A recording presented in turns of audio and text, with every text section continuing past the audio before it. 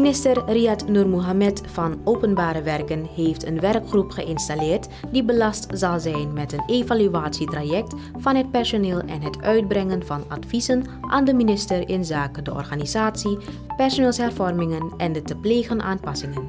Hierbij zal de werkgroep binnen een looptijd van drie maanden uitvoering moeten geven aan een traject bestaande uit een aantal aandachtspunten. Wat we vandaag gaan doen is iets waar men lang op heeft gewacht. De OW'ers, niet-OW'ers, hebben lang gewacht hierop. Omdat tijdens de rondleiding, toen ik geïnstalleerd was, ik zoveel klachten heb gehoord op de gang, apps, e-mails. Meneer Noor met wanneer dit, wanneer dat, gratificatie, ik heb dit, een missieve, wanneer kan ik beginnen? Um, die ene is uh, benoemd, waarom ben ik niet benoemd? Uh, ik ga pensioen, kan ik nog een beetje verhoging krijgen? Al dat soort dingen. Dus wat ik had besloten is, hey, laten we speciale aandacht besteden aan personeelszorg. Het eerste waarmee dat onder mijn aandacht was gebracht was de organogram. Dus we zijn al met die sessies bezig, al een paar weken. De nieuwe organogram gaat impact hebben op personeelszorg. Uh, landelijk. Ook de districten moeten we niet vergeten. Toch? Uh, maar ook in huis. Dus organogram, we zijn al heel ver gevorderd ermee. Um, en zolang we geen overeenstemming hebben met organogram, ga ik het ook niet indienen bij de regering. Toch? Dus maandag begint de plenaire sessie weer. We hadden al zo'n sessie gehad. Tweede was um, waarmee ik geconfronteerd was: de contractanten, AO'ers of mensen met um, speciale opdracht. Dat waren ongeveer 70 maanden. We zijn ook klaar bijna daarmee. We zijn afgerond. De review gaat nu uh, naar de, naar de uh, PZ, de directeuren doen de review nu. Maar dan gaan we ook dat track afsluiten. Daar zijn er wat um, geen prettige dingen. We hebben gewoon besloten dat inderdaad de mensen boven 60 inderdaad stoppen. Omdat um, het beleid van de regering is, laten we jongeren de gelegenheid geven om door te stromen. Dus dan gaan we dat doen. Ik ben er ook voorstander van. Dus de, de, alle beleidsadviseurs, whatever, waar het geen dringende noodzaak is, gaan we inderdaad bedanken. Dus dat is die categorie. um, een groot deel van de ambtenaren die thuis zaten, die zijn ondertussen begonnen op verschillende afdelingen. En dan had je nog uit de groep van 50 zijn er inderdaad wat uh, toppers die dicht bij de 60 zitten over een maand of twee. Dus ook dat sluiten we af. Dus een kleine groep is bereid nog door te gaan. Uh, dus die gaan we dan uh, ook netjes afhandelen. Maar dat wordt voor deze werkgroep voorgezet. De dossiers gaan we inderdaad netjes afsluiten. Dan is deze kwestie van die 70 inactieve mensen ook opgelost. Toch, het heeft waarschijnlijk vijf jaar, tien jaar bij jullie gezeten. Hoofd P6, we sluiten het af. Dus jullie krijgen, jullie gaan uh, straks een schone lijst maken. Want de mensen zitten op hun plaats. En, en wie eruit moet, gaat dan eruit. Maar de contracten moeten netjes afgesloten worden.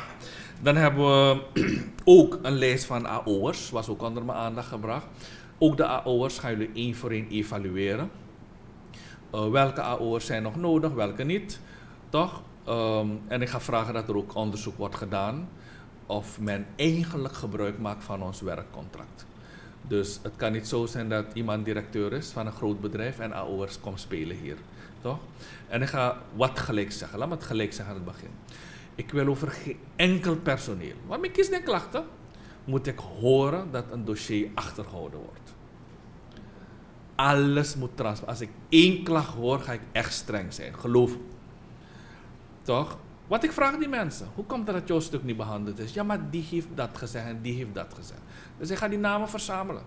Ik moet van niemand horen dat iemand iets heeft tegengehouden van iets. Alles van iedereen moet behandeld worden. Of het nou positief of negatief is, punt 2. Toch? En ik ga persoonlijk, ik weet niet wat de werkafspraken gaan zijn van de werkgroep, maar als jullie fysieke meetings hebben, wil ik er persoonlijk bij zijn. Ik wil het ook volgen.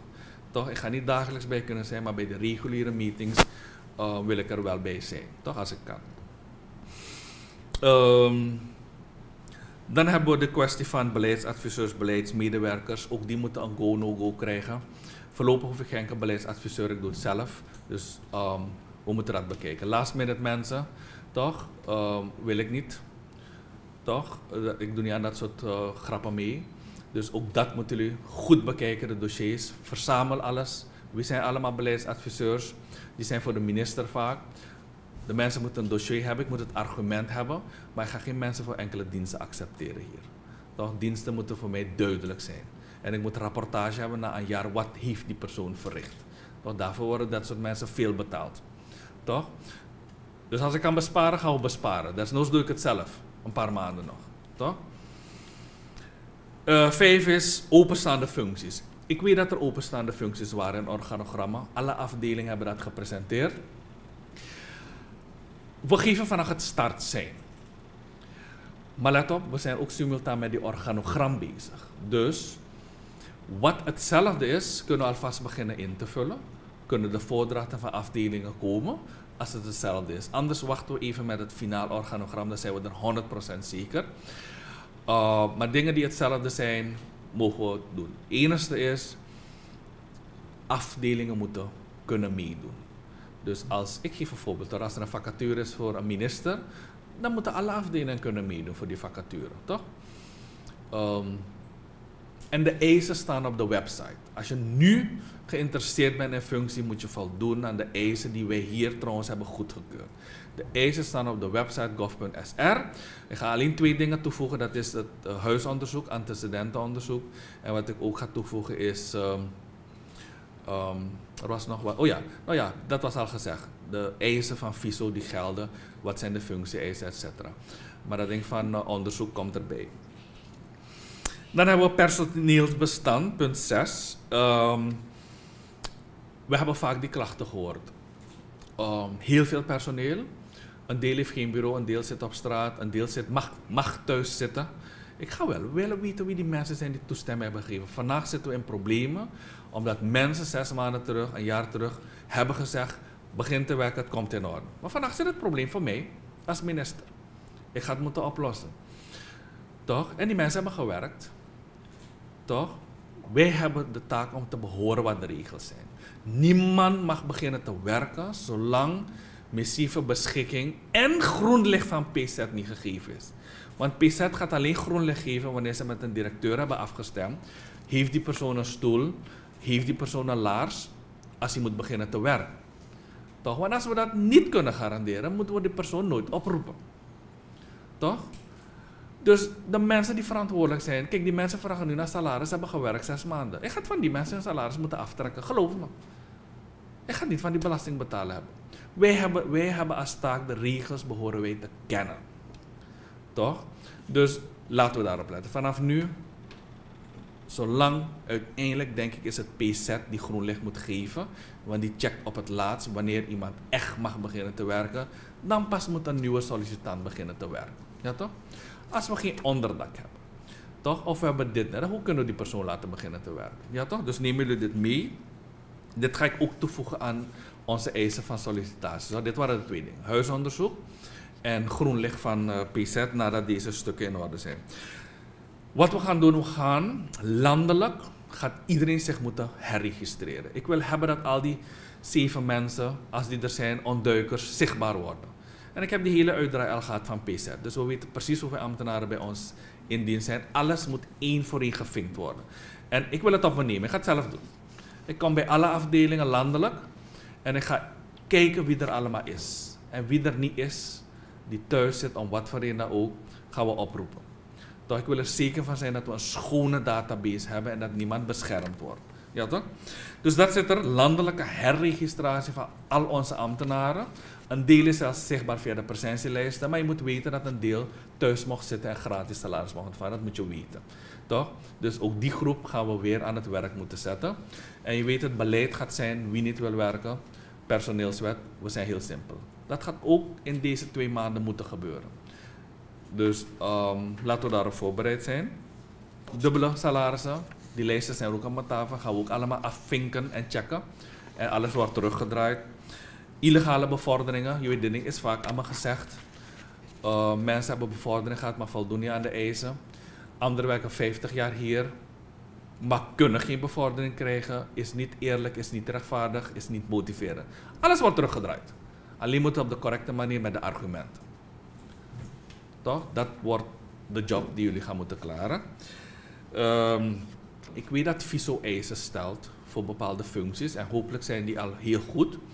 Maar als ze niet goed zijn, gaan we ook dat aanpassen. Als wij vinden dat bij de nieuwe organogram de eisen van bijvoorbeeld, al, hoofdbewaking hoger moeten zijn, dan gaan we dat aanpassen.